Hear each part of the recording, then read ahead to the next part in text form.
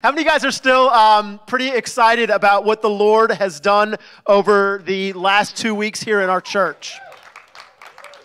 Uh, I mean, it's it's literally miraculous what God has done over the past couple of days, and uh, I'm ready for the Lord to top what He has done over the last two weeks again today. Anybody with me on that? I mean, I, I, believe that we go from glory to glory. It keeps getting better. But what I also want to say is that today might be a little bit different than what you think it might be on how that fleshes out. And um, I'll tell you why. Uh, number one, not that the service is based on me, but I'm feeling a little bit off today.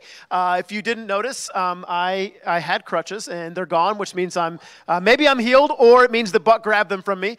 Um, so I know most of you guys are wondering what happened. So, uh, Erica and I have this rhythm where once our kids turn eight, every two years, we do either a mother daughter day or a father son day. Uh, my man, uh, Mr. Ezra Big E, just turned 10 about a week ago, which um, that means that I have more and more gray hairs.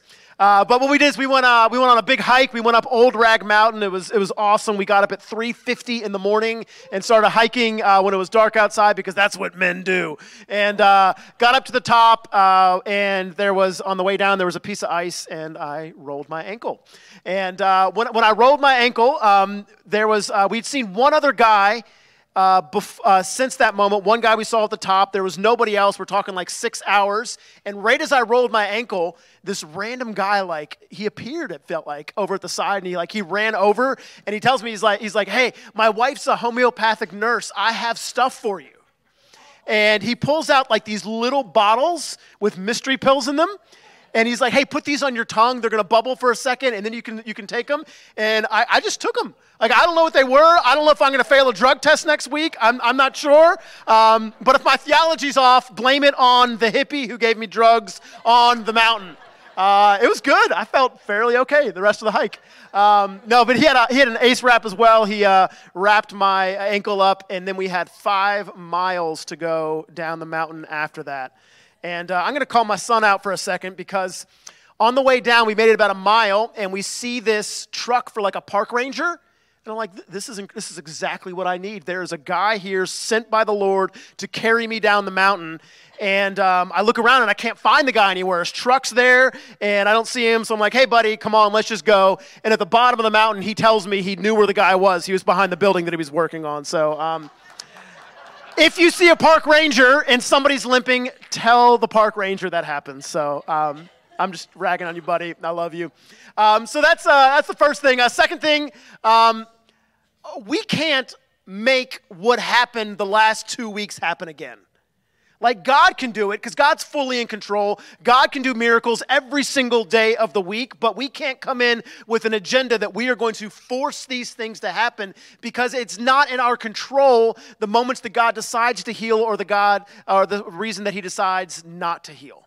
So that would be the, the second reason that today might be a little bit different than you're thinking. Um, the third is, is that we're going to talk about eating flesh and drinking blood, which is not a strange subject at all. Um, okay, let's be real, it's a little bit odd, but we'll get to it in the text. What happens after the miracle? Is the question that I have been pondering throughout this week. And uh, we, we, have seen some, some pretty significant things happen this year so far. Uh, our church has grown by 52% since the 1st of January, which is, is that, that, that's unusual growth that takes place. Uh, we have seen documented miracles take place. Um, Brian Monty got up here uh, last week and testified about the fact that he had incurable cancer and that a, another doctor looked at all of the, the records and said they don't see any evidence of cancer anywhere. Remember, he pulled up his phone and he showed that that happened. Um, now, in the back of my mind, I'm like, okay, I hope this goes well when he goes to his cancer doctor. And so he, he asked his cancer doctor that he went to, and he just told me this in the lobby a few minutes ago. And he asked the, the cancer doctor, Do I have cancer anymore? And the doctor looked down for a second, looked up, and said, We see no evidence of cancer in your body.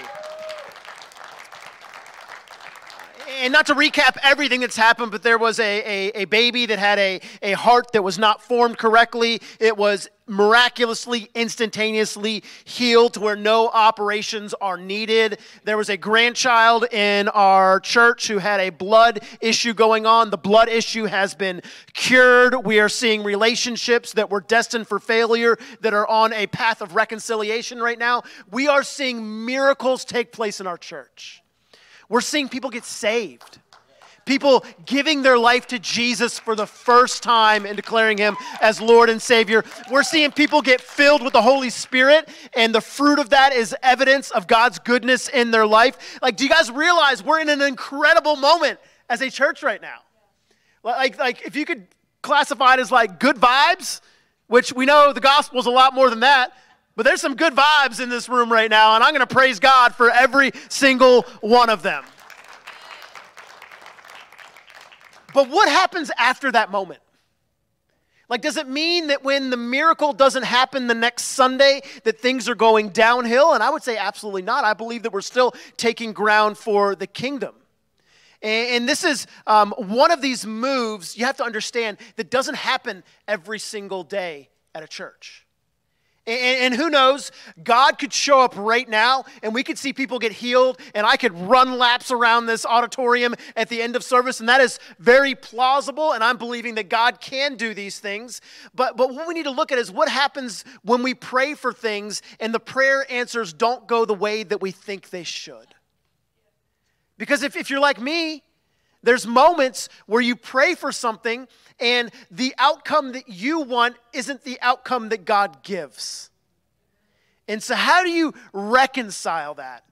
And so we're gonna we're gonna look at John chapter six today. So if you have your Bibles, go and open there. We're gonna go through the whole book of John. Um, it probably is gonna take a month or two. I'm gonna do it all today, so let's go for it.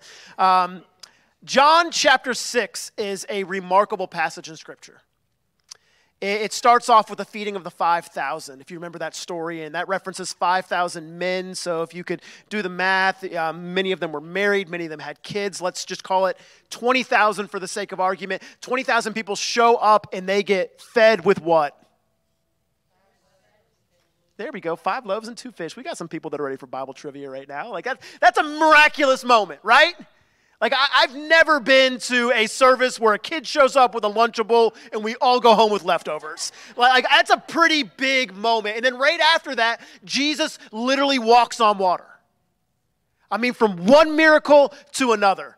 And everybody's mind is so blown by this that, that, they try to find where Jesus walked off to on the water. And there's like a boat race to go find Jesus. And they're trying to figure out where he's at. And then if you go to the end of John chapter 6, you're going to see that the majority of people that were with him at the beginning are now gone. And so that, that makes you ask some questions. Like, where did the momentum go? Is it okay for the momentum to die? Uh, and I would say that the, the bigger question is not necessarily where the people went and why the momentum died, but would you still be there at the end of John chapter 6? Because the crowds definitely were not. You see, after the physical miracles took place, the crowds were ever present. But when it was only Jesus, people did not have the spiritual maturity to stick with their faith. And my question is is Jesus enough for you? Would you still be here if it was just for Jesus? And I'll tell you for me, uh, emphatically, yes. Like Jesus is sufficient. Let me give you four concepts before we dive into the passage this morning. People overall care more about today than they care about eternity. People want the miracle for today. People want the breakthrough for today. People want the good feeling for today. They want the emotional healing for today. They want the psychological healing for today. And I'm all for that. And I would vote yes and amen. And anytime something like that happens, I'm like, come on, God, you did it again. Woo! I, I, I get amped legitimately for that. Because God does care about today. But all of those things are short term moments.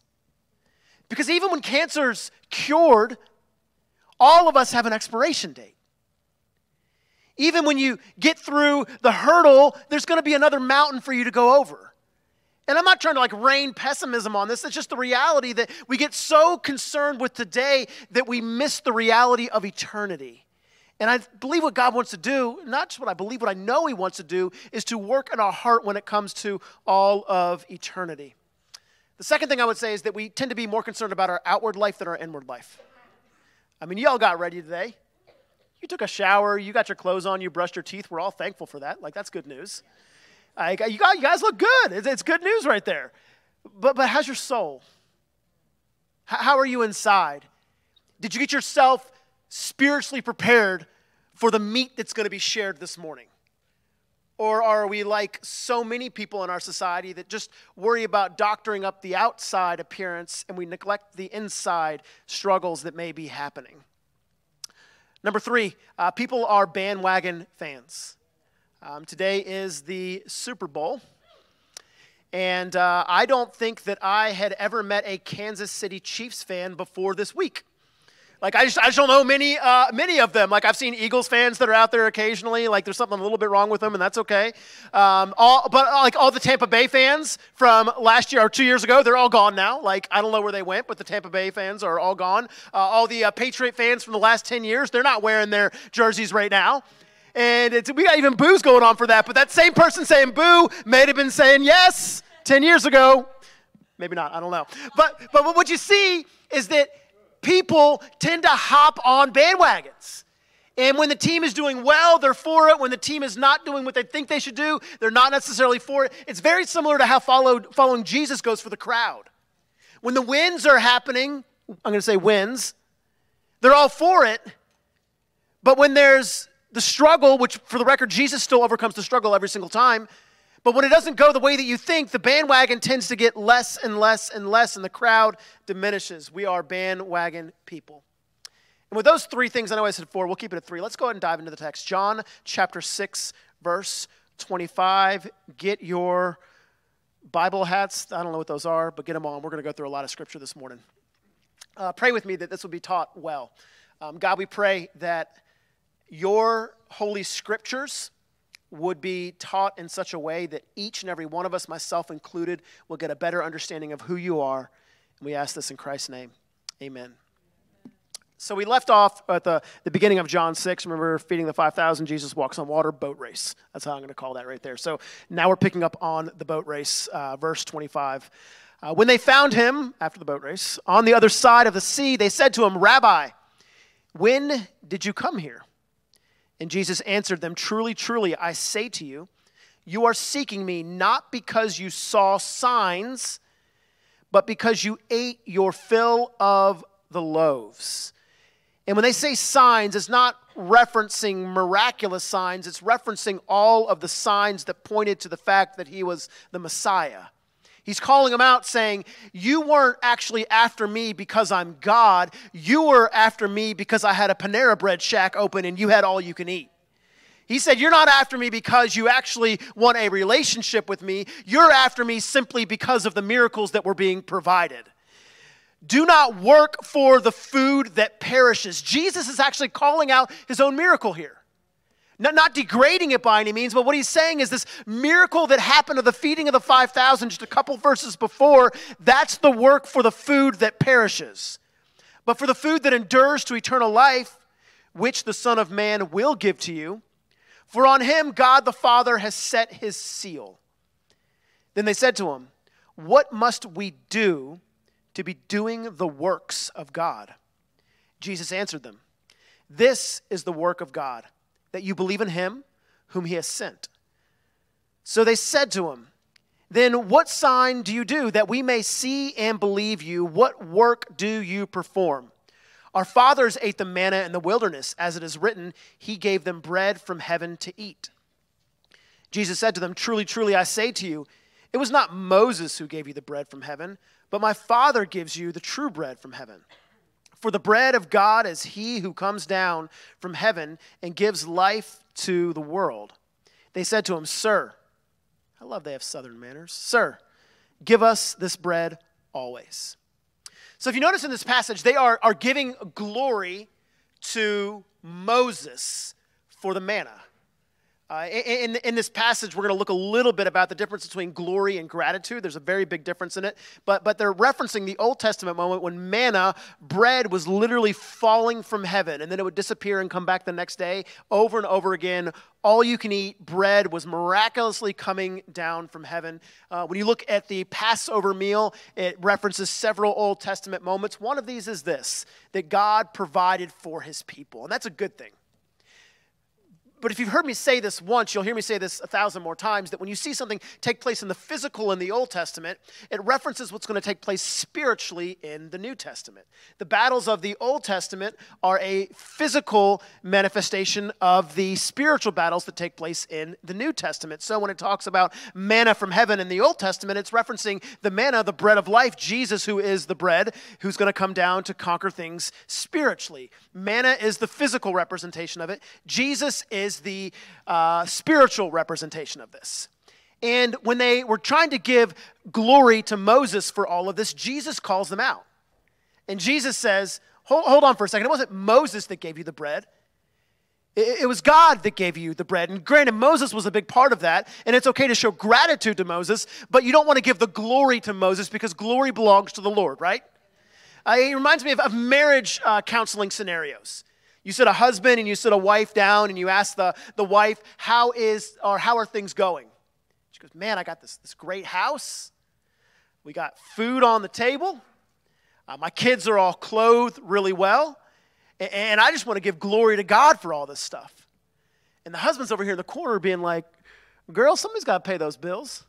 How come you're not mentioning me? Like, I know God's good, but look, look here. I'm the provider for you right now.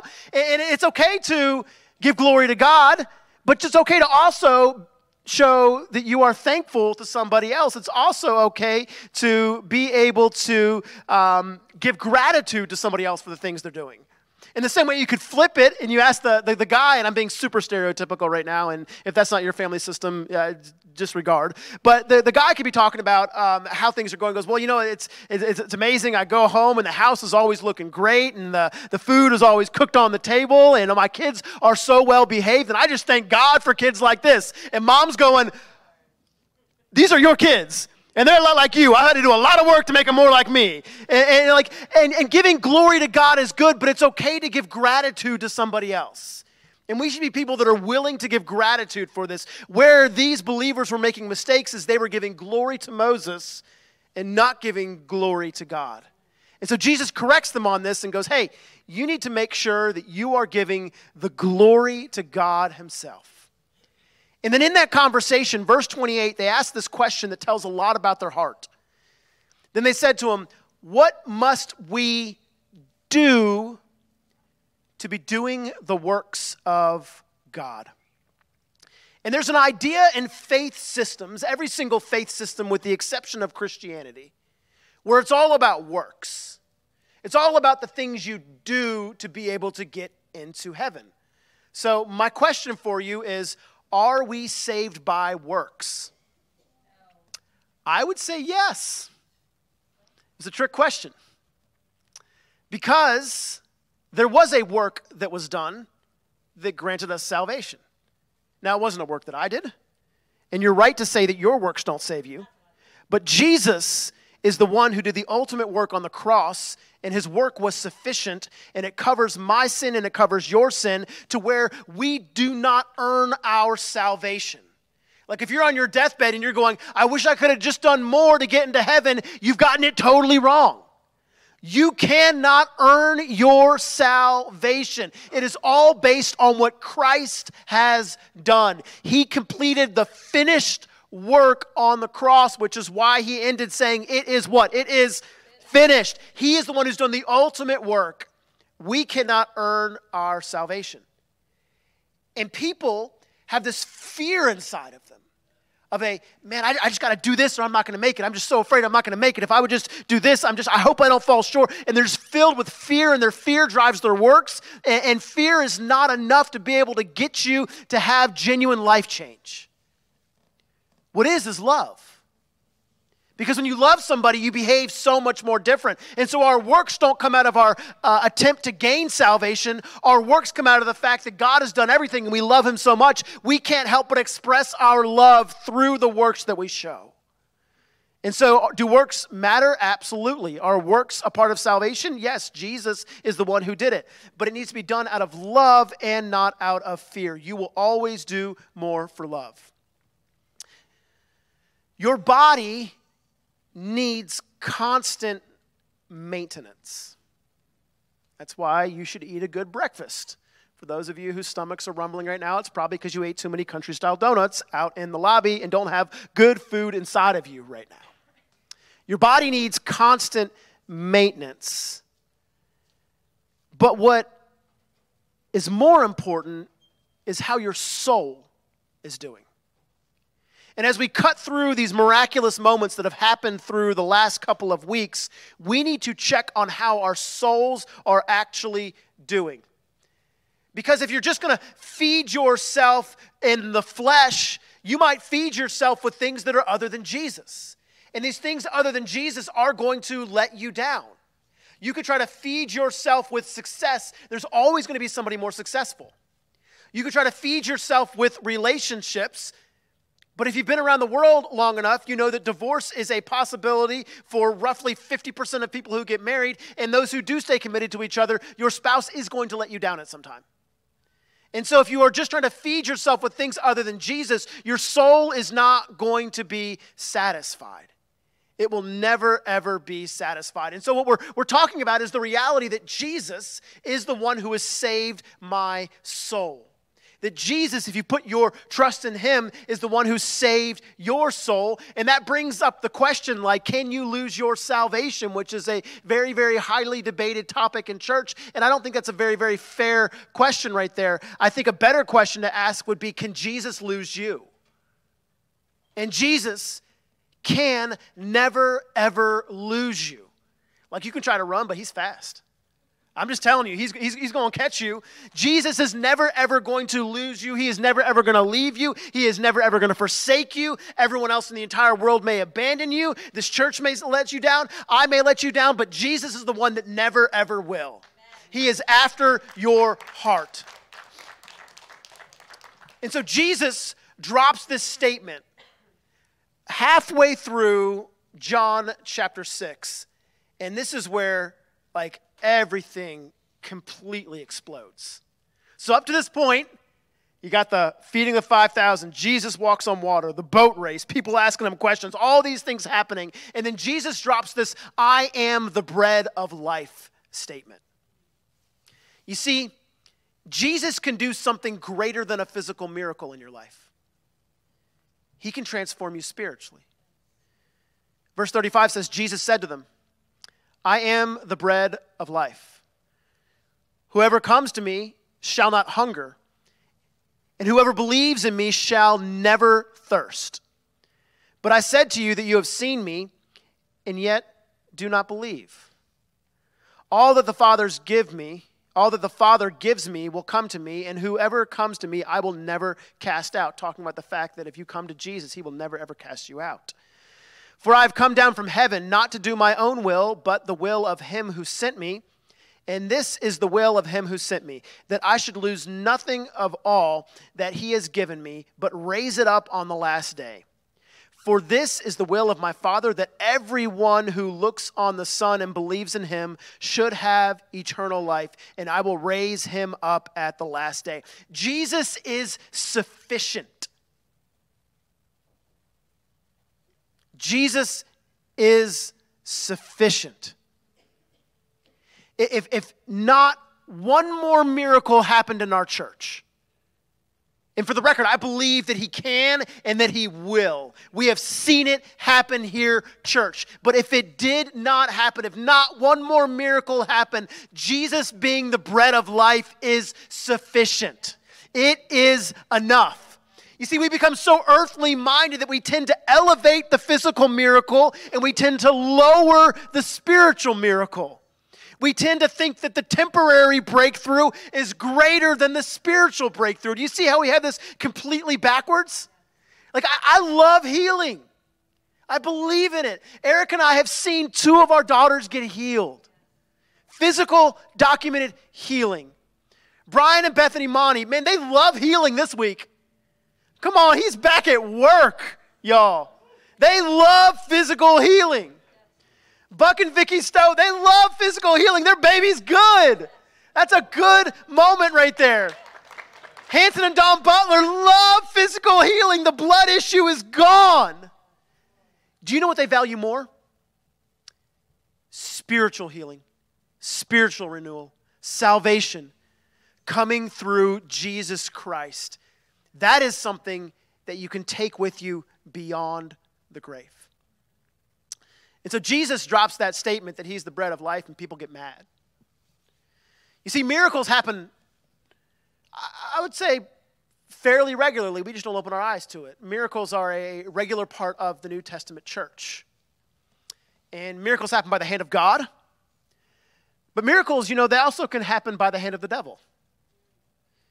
If you look in the Old Testament, you could look at Exodus 7, you would see that there is some moments where there is evil spirits that are doing signs and wonder. If you look at Second Thessalonians chapter 2, it promises that in the end days there's going to be miraculous signs and wonders done by the enemy. If you look in the book of Acts chapter, um, I think it's 7 or 8, somewhere around there, there, there's miracles being done by some witchcraft that's going on. Like, like miracles can be done at the hand of God. There's also some things that cannot be scientifically explained that are done by the hands of the enemy. Um, you can look at, at witchcraft, which is extremely real. We don't see it as often in our country because it's looked down upon. But when I was in Haiti and I could hear the witch doctor drums and I heard the stories, I'm telling you, it's very, very real. You can look at the life and the fame that can be found through Hollywood, and it just shows off the power of demonic influence. We literally, in our society, got to watch a satanic show that took place within the last seven days. It, it just shows off the power that the devil can have. He does have power. Now, does it trump Jesus? Is absolutely not. But miracles can be done at either hand. And people, you know, rarely are upset by miracles. When miracles happen, it's not all that threatening. When you go, this person was cured of cancer, no one's like, nah, I don't like that. I'm going to hard pass on that, give that back. Like people aren't against miracles. And so when Jesus is performing these miracles, what happens? Little numbers or big crowds? Big crowds take place because people love miracles. People chase these things regardless of the source. And if you're only chasing the miracle and not the God of the miracle, you could be chasing sources that will not save your soul.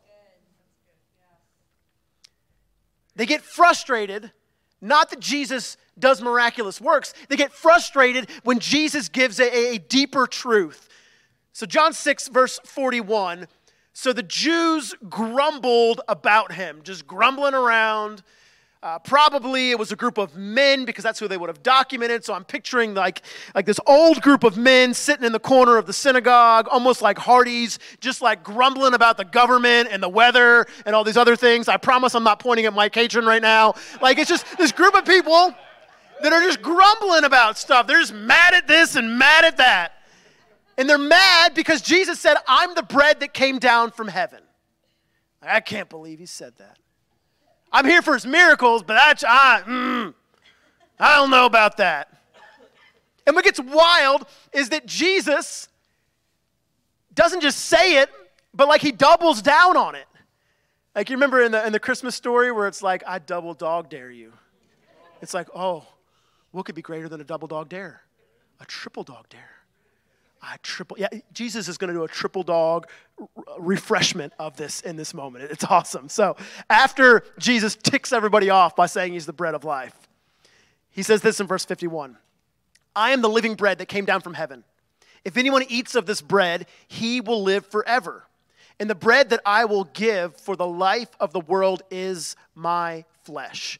Now, I'm just going to put this in here. If you're new to church and we're talking about eating flesh, this sounds like zombie apocalypse going on right now. Like when you start talking about this topic, like people leave the church, maybe the hipsters that have black t-shirts on and Converses whose dads didn't hug them, they may like something like this. But like for the rest of us, we're like, this is getting a little bit weird right now. He says, I will give. Did you say that I just describe you? That's awesome. Your dad loves you. His name's Michael. That's a good name. Uh, and the bread of life. You know, I was thinking about saying that because it's in my notes, and I was like, nobody would be here like this. And sure enough, we got that.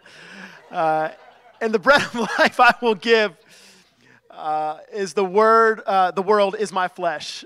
The Jews then disputed among themselves saying, How can this man give us his flesh to eat? So more grumble, grumble, grumble. So Jesus said to them, Truly, truly, I say to you, unless you eat the flesh of the Son of Man and drink his blood, you have no life in you. Whoever feeds on my flesh and drinks my blood has eternal life, and I will raise him up on the last day. For my flesh is true food, and my blood is true drink.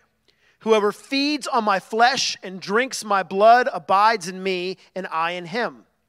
As the living Father sent me, I live because of the Father. So whoever feeds on me and also will live because of me. This is the bread that came down from heaven, not like the bread the fathers ate and died. Whoever feeds on this bread will live forever. Jesus said these things in the synagogue as he taught in Capernaum. When many of his disciples heard it, they said, This is a hard saying. And I would agree with them. Like, if the, the rabbi got up and starts talking about all this stuff, like that's that's hard stuff right there that you got to kind of pick through and figure out exactly what's going on. They said, This is a hard saying. Who can listen to it? But Jesus, knowing in himself that his disciples were grumbling about this, said to them, Do you take offense at this. So, so Jesus doesn't just say that he's the bread of life, but he doubles down saying that they need to eat of the flesh and they need to drink of the blood. And then he triple dog dares and responds back and goes again. And he probably quadruple dog dares and does it another time. And he keeps on hitting it over and over again. Like I'm thinking if I was the disciples and he drops it once, it was probably like, ooh, did he mean to say that? Then it's like, oh, he, he meant to say that. Oh, there he goes again. Like he keeps on doing it over and over and over again. And what we got to realize is how do we extract the truths out of this passage? Because we believe the Bible is literal. Like the Bible is the literal word of God. Now, there is plain literal and there is figurative literal. Like if I was going to tell you, I'm so hungry I could eat some tacos. Everybody loves tacos. I'm so hungry I could eat some tacos right now you would know that I want what? If I said, I'm so hungry I could eat a horse.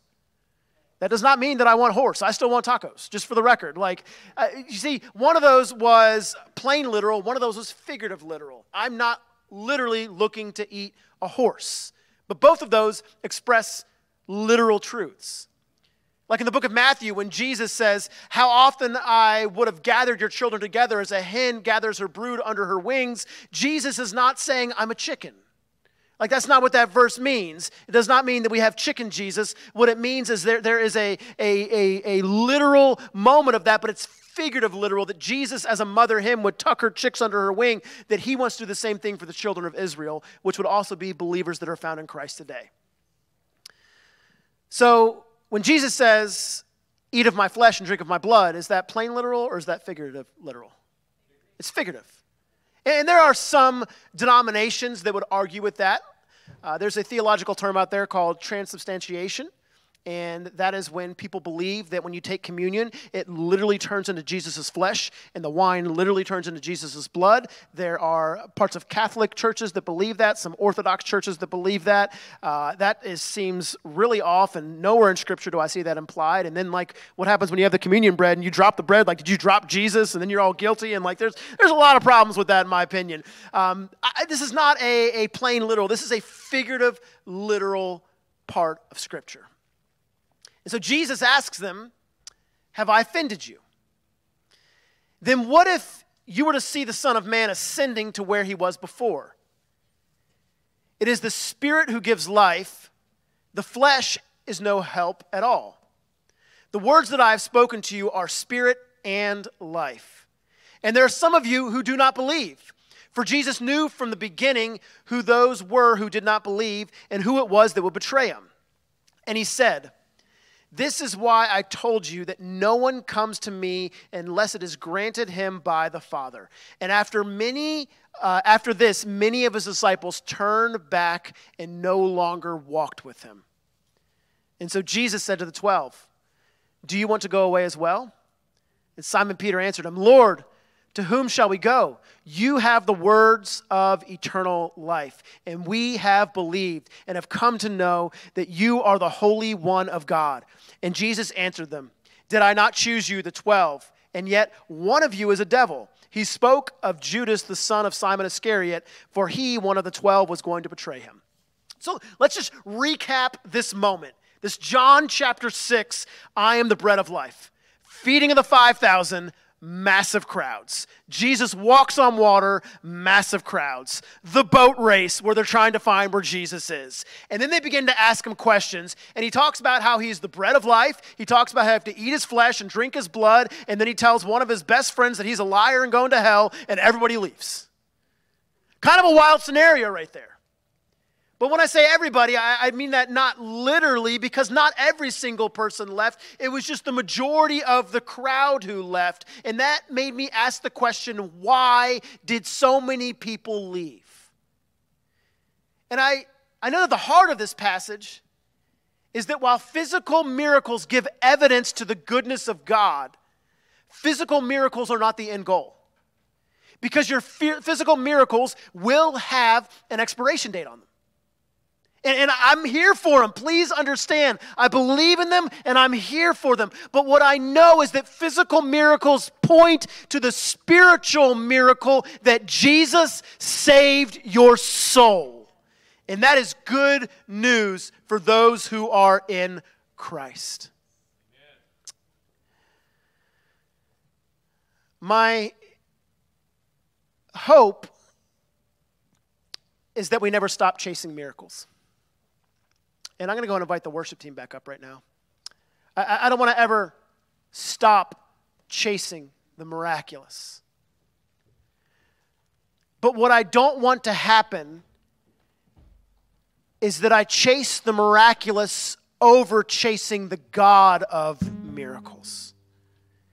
That I begin to think that the physical miracles here on earth are more important than the spiritual miracle that Jesus saved my soul. Like, He is the God who can. And He is the God who will for every single person who is in Christ. I guarantee you, your miracle is coming. I, fully believe it. But then you might say, well, Michael, what happens when it doesn't? And I've had some of these conversations this week. You're like, this is great that these people experienced the miracle. Where the heck is mine? And the reality is, is that Jesus always comes through. It just may not be on the timeline that you want. He has promised us everlasting life. He has promised us new bodies. He has promised us no more pain. He's promised us no more tears. All those things are coming. It just may not be in the time frame that you want. And so now we have this tension as believers. And it's a good tension. Tension is a very, very important thing. This tension of I believe that God can show up, and I'm counting on Him to show up. But I also know His plan is greater than mine, and His timeline might be higher than mine. And so, what our response should be is like when, when, a, when a, a miracle testimony happens up here. And you guys have seen them, you've seen this take place. What's the typical response that we should have when a miracle takes place? Give it to me in three, two, one, go.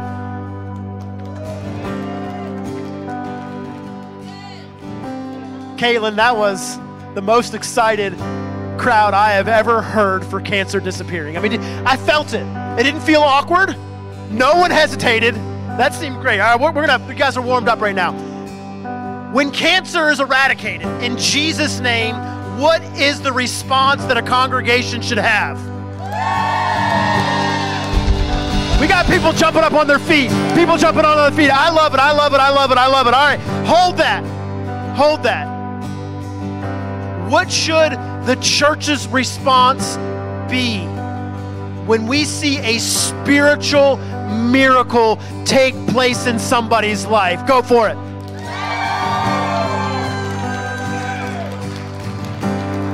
The, oh, I'm I'm gonna get up on my feet right now. I'm excited. See, I don't want us to have such a shallow faith that we require the physical manifestations to give us insight on what the spiritual truths are. I want us to have a church that has a deep enough understanding to where we can say, Jesus saved my soul, and that good news is sufficient for me to be able to give my God praise. I believe that He can do it, I believe that He will do it, and just like they said in the book of Daniel, even if He doesn't, He is still my King, and He is worthy of my praise.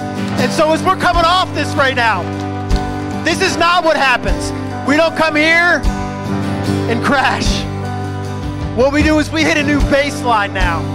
And we say, God, our spiritual life is right here. And however you want to take us from glory to glory, we're going to trust in you. We're going to lean into you. And we're going to say that you are good every single day. Come on, church. Can we respond and worship this morning?